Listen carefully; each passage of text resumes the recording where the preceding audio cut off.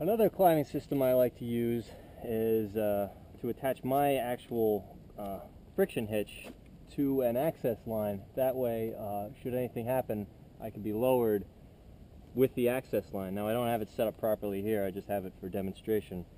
But uh, basically, I have a prusik with a point that I could uh, pulley, frictionless attachment point, I could put my system through.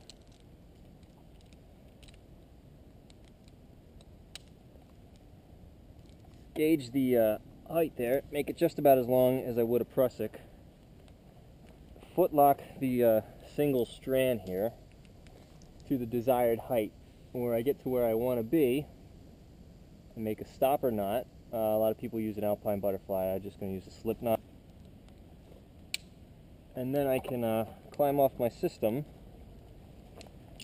and the uh, tying point will follow me, and I will get the benefit as if I was tied in at the very, uh, the very top. And then when I'm done working that lower portion, I simply go back to it, reach up, undo the um, spike and foot lock up higher to where I want to be and repeat the same thing until I get to the top.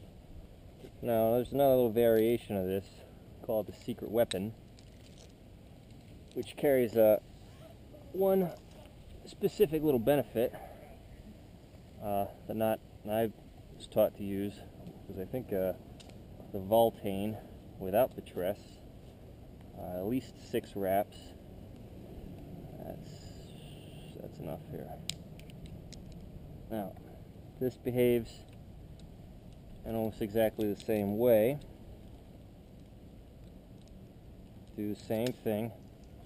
Foot lock up to the desired height. Spike it off.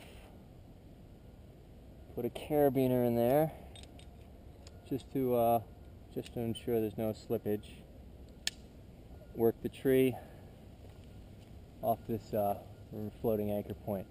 Now, benefit that this carries is let's say I want to go, I want to have a different tie-in point. I can actually retrieve this with the retrieval ball that smaller ring and retrieve it remotely and now use this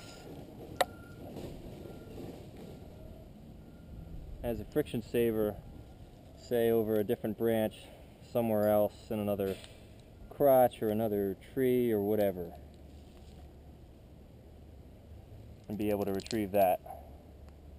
And then they still have the access line if somebody needs to come up and sort of retrace my footsteps to get me. Your, uh, your anchor point is above you. Just need something easier to grip below it. So, what I came up with was adding a full-on frog walker system to the equation.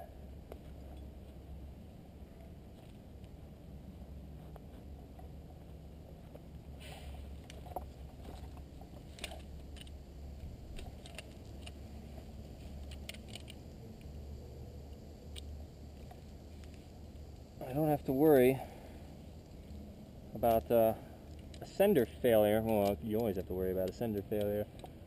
But uh, in this particular scenario, my lifeline or my tie-in point is above the ascenders. The ascenders are just helping me get up there. I like to use the lanyard, keep it somewhat close to me.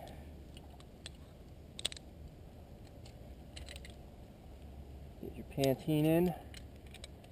Make sure you can easily push your floating anchor and it's the desired length. Put in your foot strap. And then from here on out, just like a regular frog walking system.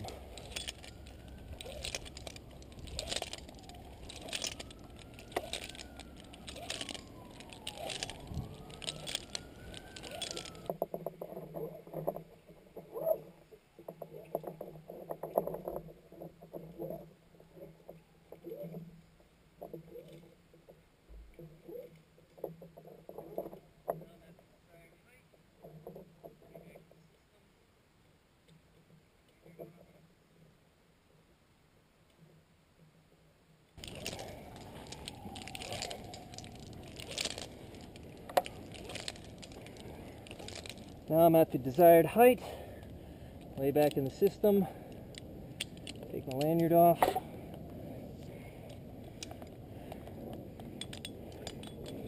Now, having a sender here. I could use this to actually spike off the system. I don't want to use the tooth part so much. But I can use the carabiner part. Take off the foot ascender here.